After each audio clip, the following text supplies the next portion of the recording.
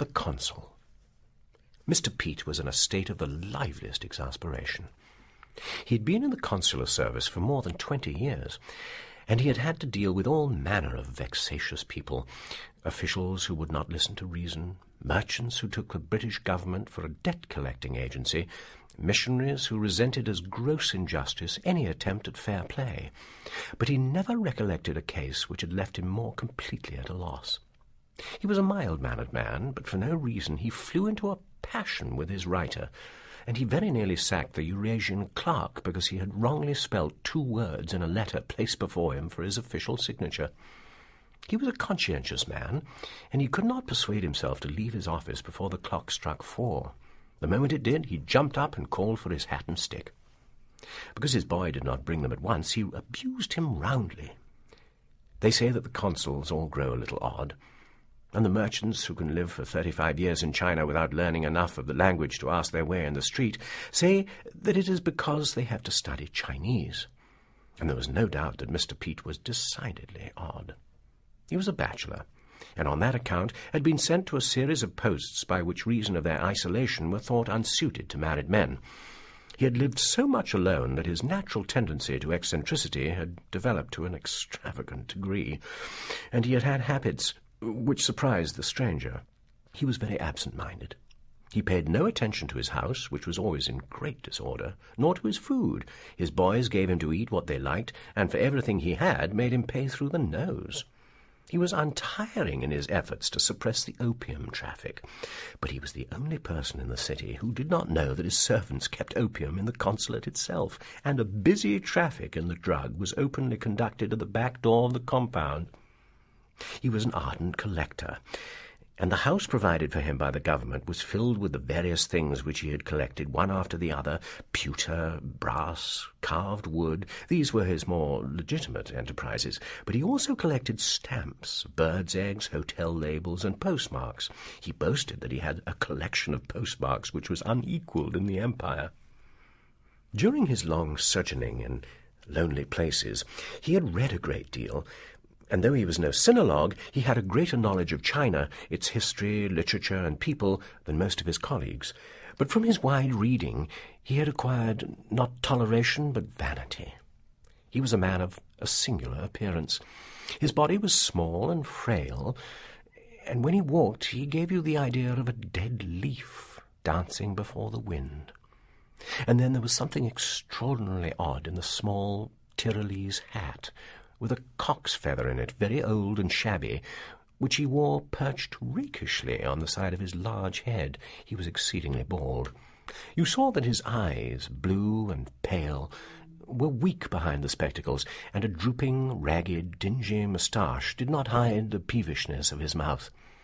And now, turning out of the street in which was the consulate, he made his way onto the city wall, for there only in the multitudinous city was it possible to walk with comfort. He was a man who took his work hardly, worrying himself to death over every trifle, but as a rule a walk on the wall soothed and rested him. The city stood in the midst of a great plain, and often at sundown from the wall you could see in the distance the snow-capped mountains, the mountains of Tibet.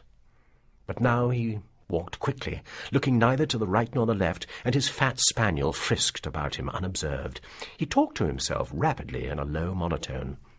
The cause of his irritation was a visit that he had that day received from a lady who called herself Mrs. Yu, and whom he, with a consular passion for precision, insisted on calling Miss Lambert. This in itself sufficed to deprive their intercourse of amenity. She was an Englishwoman married to a Chinese. She had arrived two years before with her husband from England, where he had been studying at the University of London.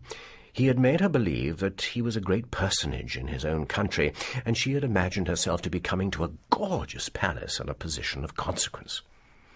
It was a bitter surprise when she found herself brought to a shabby Chinese house crowded with people. There was not even a foreign bed in it, nor a knife and fork. Everything seemed to her very dirty and smelly. It was a shock to find that she had to live with her husband's father and mother, and he told her that she must do exactly what his mother bade her. But in her complete ignorance of Chinese, it was not until she'd been two or three days in the house that she realized that she was not her husband's only wife. He had been married as a boy before he left his native city to acquire the knowledge of the barbarians. When she bitterly upbraided him for deceiving her, he shrugged his shoulders. There was nothing to prevent a Chinese from having two wives if he wanted them, and he added, with some disregard to truth, no Chinese woman looked upon it as a hardship. It was upon making this discovery that she paid her first visit to the consul. He had already heard of her arrival. In China, everyone knows everything about everyone, and he received her without surprise. Nor had he much sympathy to show her. That a foreign woman should marry a Chinese at all filled him with indignation, but that she should do so without making proper inquiries vexed him like a personal affront. She was not at all the sort of woman whose appearance led you to imagine that she would be guilty of such a folly. She was a solid, thick-set young person, short, plain, and matter-of-fact. She was cheaply dressed in a tailor-made suit, and she wore a tam o' shanter. She had bad teeth and muddy skin. Her hands were large and red and ill cared for. You could tell that she was not unused to hard work. She spoke English with a cockney whine. How did you meet Mr. Yu? asked the consul frigidly. Well, you see, it's like this, um, she answered. Dad was in a very good position, and, and, and when he died, Mother said, Well, it seems a sinful waste to keep all those rooms empty. I'll put a card in the window. The consul interrupted her. He had lodgings with you? Well, they weren't exactly lodgings, she said. Uh, shall we say apartments, then? Replied the consul with his thin, slightly vain smile. That was generally the explanation of his marriages. Then, because he thought her a very foolish, vulgar woman, he explained bluntly that according to English law, she was not married to Yu, and that the best thing she could do was to go back to England at once. She began to cry, and his heart softened a little to her. He promised to put her in charge of some missionary ladies who would look after her on the long journey, and indeed, if she liked, he would see if meanwhile she could not live in one of the missions. But while he talked, Miss Lambert dried her tears. What's the good in going back to England? she said at last. I haven't got nowhere to go. You can go to your mother. She was all against my marrying Mr. Yu. I should never hear the last of it if I was to go back now. The consul began to argue with her, but the more he argued, the more determined she became, and at last he lost his temper. If you like to stay here with a man who isn't your husband, it's your own lookout, but I wash my hands of all responsibility. Her retort had often wrangled. Then you got no cause to worry, she said. And the look on her face returned to him whenever he thought of her. That was two years ago, and he had seen her once or twice since then.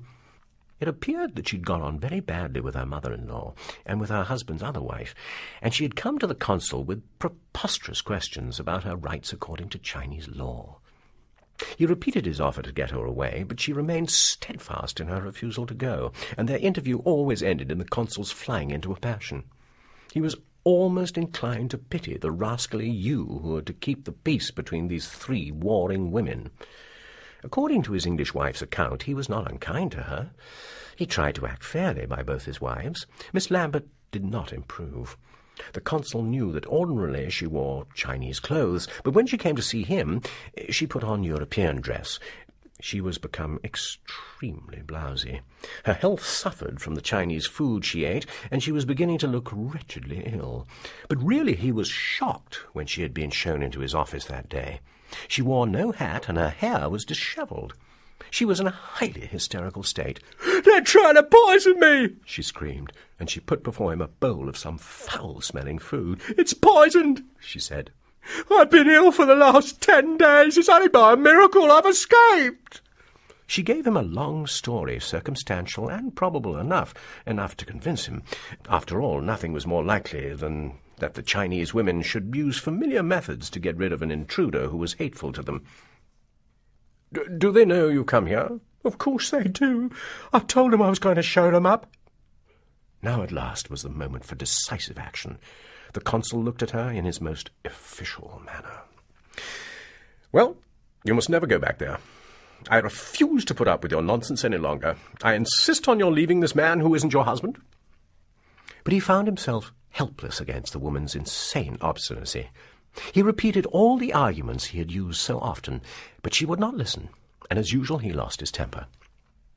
It was then, in the answer to his final, desperate question, that she had made the remark which had entirely robbed him of his calm. But what on earth makes you stay with the man? he cried. She hesitated for a moment, and a curious look came into her eyes. There's something in a way his hair grows on his forehead that I can't help liking, she answered. The consul had never heard anything so outrageous. It really was the last straw. And now, while he strode along, trying to walk off his anger, though he was not a man who often used bad language, he really could not restrain himself, and he said fiercely, Women are simply bloody.